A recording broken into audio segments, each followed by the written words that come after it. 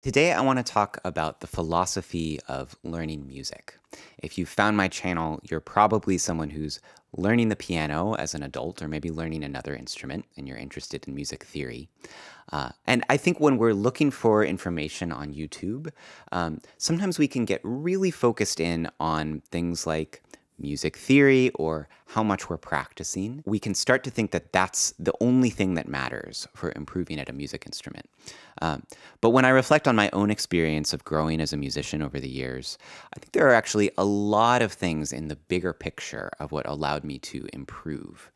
Uh, so I wanted to share that with you today. I think there are six broad categories, six pillars of music education uh, that are important for every music student.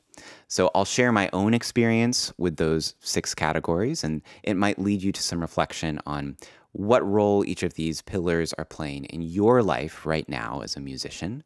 Um, and maybe there are some that are a little weaker than others, and you might want to try some new things in those areas. So, first is inspiration. Really, everything as a musician comes out of feeling inspired about music and wanting to make music. For me, this actually started when I heard my sister playing piano when I was really little. I was lucky that I grew up in a musical home. My mom played piano growing up. Um, and so I would hear her playing. And when my sister started playing, I was so jealous. Uh, this little five year old kid that I was, I really wanted to learn to play. And I begged my mom to teach me heart and soul. So that's the classic.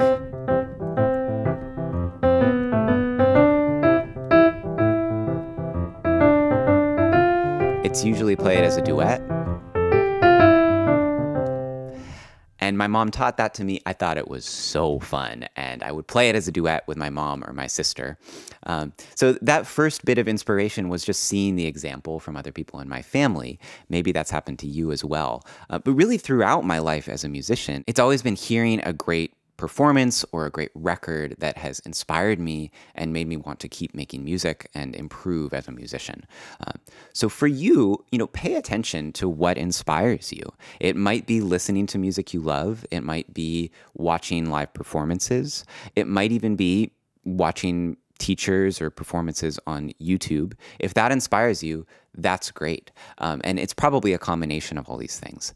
But just remember that the inspiration is important. We can't separate that from our art making.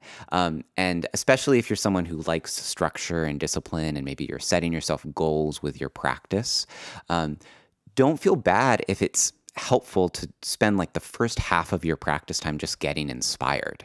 Uh, because really, if you can't get inspired, you're just going to want to stop playing. Um, and so the most important thing is that you're excited about what you're doing. There's nothing wrong with spending a lot of your time at the instrument, listening to pieces of music, and deciding what's really exciting to you. I'm going to call pillar number two access. So this is meant to cover everything from having an instrument available for you to play to having great information. Um, and the information part is better now than it has ever been in history because there is so much free information available online, um, along with things like online courses. I make online courses. There's all sorts of places you can get relatively affordable information using the internet. When I was growing up, the information was all coming from like music books, sheet music books, and the private lessons that I took um, as a child. And that was also great information. I mean, the advantage of that is there isn't the overwhelm that you might get from looking for information online. Access really now is better than ever. But remember, it includes access to an instrument, and any instrument is better than none. And what I find with my private students is that usually the weeks where they don't practice are just weeks where they don't have access to the instrument. Like maybe they're traveling and they're away from their piano or their keyboard, and they're just not going to practice if they're traveling. Um, so if you don't have an instrument, or a lot of people on this channel comment that they don't have a sustain pedal, uh, take that as your single most important task is to figure out how to get that tool that you need uh, or that information that you need so that you can move forward on your instrument. All right, number three is fairly obvious. It's practice. And I'm sure you're aware of this. You can't get good at a music instrument without practicing. Um, and I get a lot of questions about how much to practice from students or how long you need to practice a certain amount to get good. Um, and it's hard to give concrete answers about this uh, because really every person is different and it depends so much on what your goals are. But I can share my own experience. You know, I was lucky that I started early with classical piano. I didn't practice more than an hour a day um, for the first, like, I don't know, five or 10 years I was playing piano. Um, and if anything, I kind of got away with not practicing as much as my older sister. Um, and I would maybe practice a lot the day before my lesson, um, but the rest of the time I was kind of a delinquent music practicer. Um, but then there came a point where I was really serious about music and then I started practicing a lot. And really, to be a professional musician, you need to be spending a lot of time on your instrument. Um, so there was a period of, I'd say, five to 10 years where I was practicing maybe an average of three hours a day, sometimes a lot more than that, sometimes a lot less.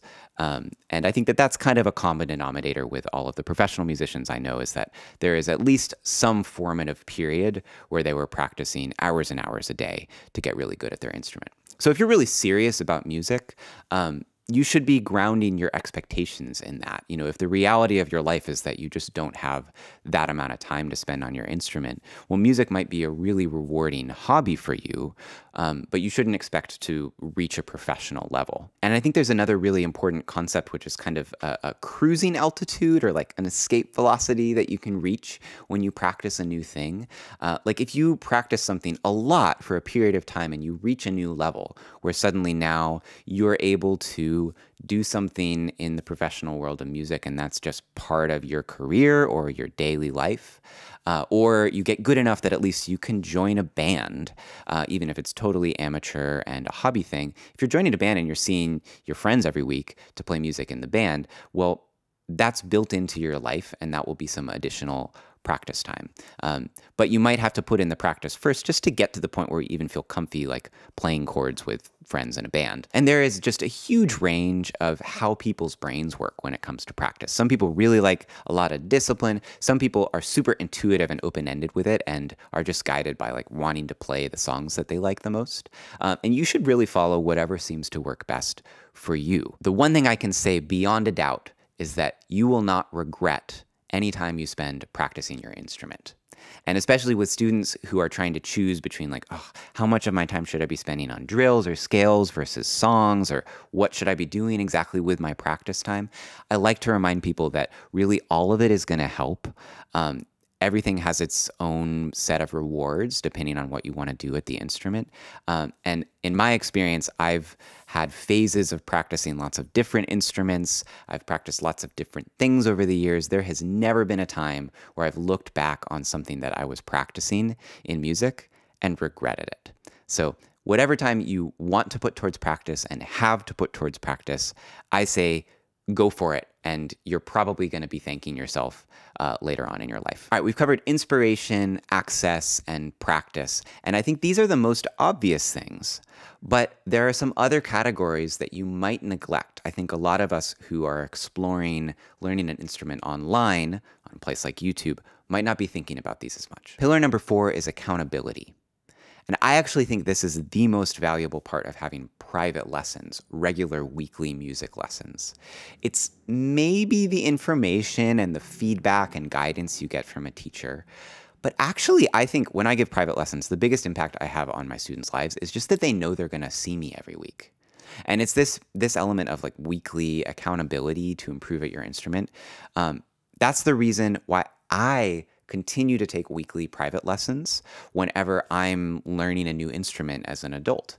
I just think it's so valuable just to have someone there with you on the journey um, and checking in with you every week. Now, private lessons are not for everyone. They might be out of your budget, and they also just don't appeal to everyone. Like a lot of people want the sort of freedom and independence that you get from just learning on your own.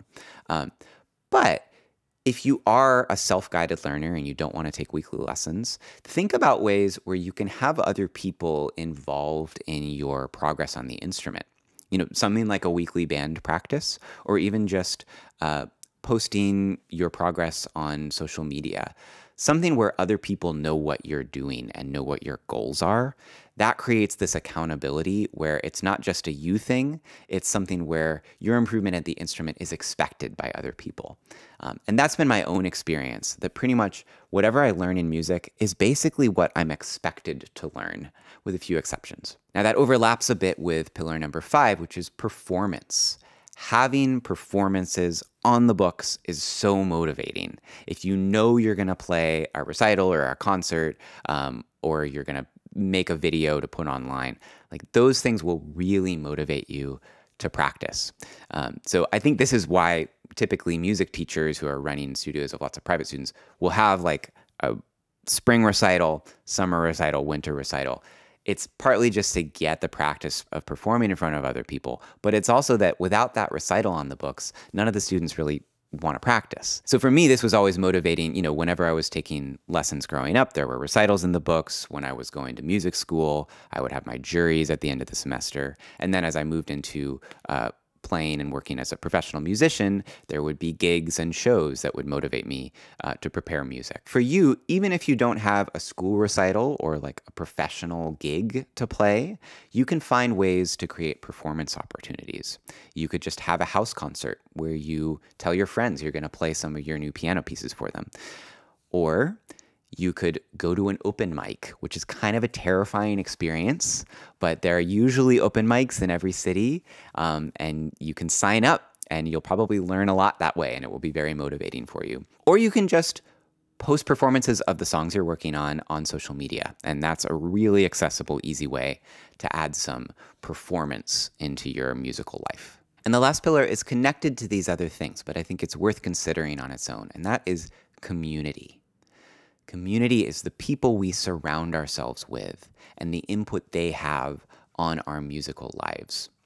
For me, the best part of going to music school was all of my fellow classmates whom I met and most of whom are still close friends and important musical collaborators to this day. So if, you, if you're just learning about music from YouTube videos, there's a chance you feel kind of isolated in what you're doing. You know, maybe you, you got into this just because YouTube suggested it to you and you realized, oh, this is so cool. I love music. Uh, and I think that's amazing.